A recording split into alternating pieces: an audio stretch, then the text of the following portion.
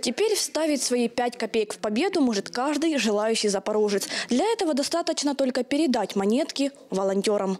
На собранные деньги волонтеры не собираются ничего покупать, да и вряд ли этих монет будет достаточно. Собирают копейки для военной хитрости. Идея акции принадлежит волонтеру Андрею Рыбальченко. Просьбу о сборе мелочи номиналом 5 копеек парень разместил в соцсетях. Запорожцы сразу же откликнулись и начали трусить свои копилки. В перший же день е, почали писати, куди можна віднести гроші.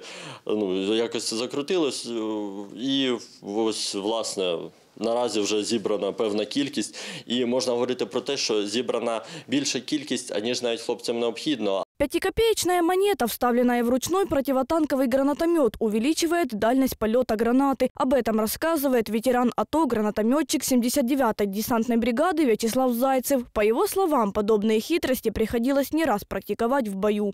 Є і інші інші хитрощі, е, вони безпосередньо тільки в бою їх можна дізнатися. На строковій службі, повірте мені, що ні. От тільки в бою і е, вони рятують життя. Є- Здоров'я так точно, повірте мені. Монетки волонтер планирует собрать в течение недели. Все желающие передать свои 5 копеек для военных могут связаться с Андреем или принести монеты в благотворительный фонд «Лебедия». Розширюючи, так би мовити, акцію, ем, я почав писати про те, щоб е, люди, передаючи ці монети, також передавали записки, якісь побажання воякам.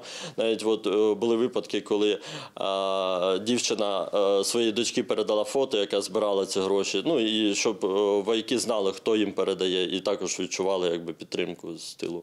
Все собранные монеты вместе с записками и открытками волонтеры передадут бойцам 93-й бригады. Они сейчас находятся на передовой. Оксана Якименко, Дарья Зырянова, ТВ5.